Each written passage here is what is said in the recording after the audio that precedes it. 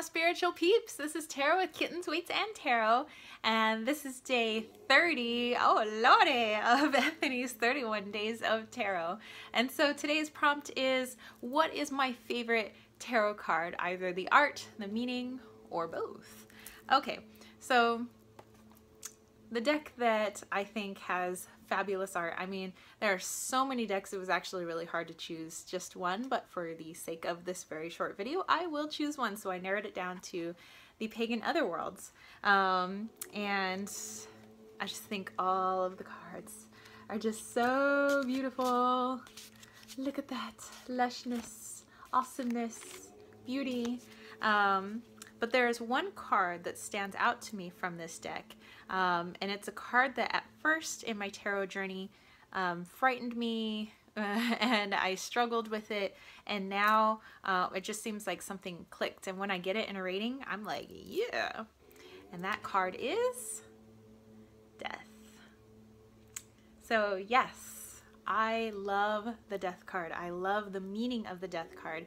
It means to me that a change is taking place, that um, things aren't stagnant anymore, that you have completed a cycle almost like the Ten of Swords.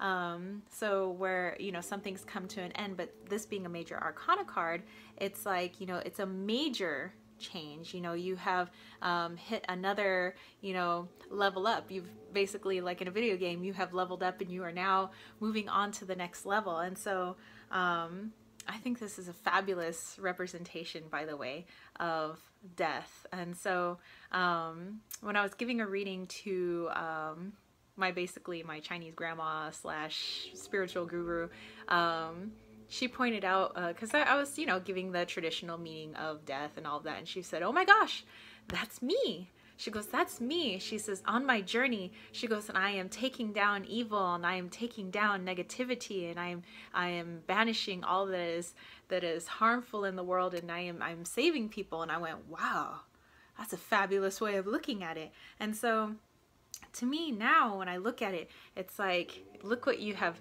shed, you know, look at all the, the, the, things that you are leaving behind that no longer serve you. And now you have this skeleton and the skeleton is indeed the querent or myself or, you know, um, and it's just you have stripped down to bare bones to where you don't need all of that baggage anymore. You have left that behind because you are transcending you know onto this you know next level that is just you know and you and you couldn't have been at this next level had you not gone through the muck and had you not you know tread through the waters and learned those lessons. And so it is an honor you know to be this person. And so you know having this like you know, sash blowing in the wind, just showing, you know, just uh, you, you can be glamorous, but you can also be fierce at the same time, you know, hence the, the arrows for wings. And so I think this is just, this is just freaking awesome.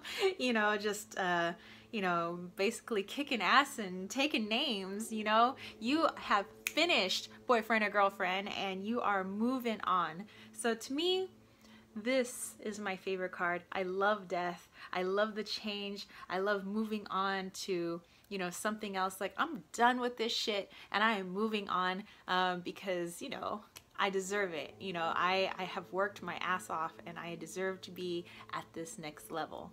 And so that's how I see death. And again, I think this is a beautiful representation. So not only do I love the meaning of the death card, but I love the art as well. So I mean, there, there we go. That's my little mini rant. let me know what you guys think um, and let me know what your favorite cards are i'm definitely going to be watching everybody's videos but if you're not posting you know videos then definitely um, let me know in the comments section below um, and let me know maybe how you feel about the death card or maybe um, you are also a big fan of the death card and maybe you know people look at you a little cockeyed but you know I think once you know it's it's been explained you know it's not like I'm super morbid and I'm like, yes, death. You know, I'm not like a, a Lydia type person from Beetlejuice. So, all right.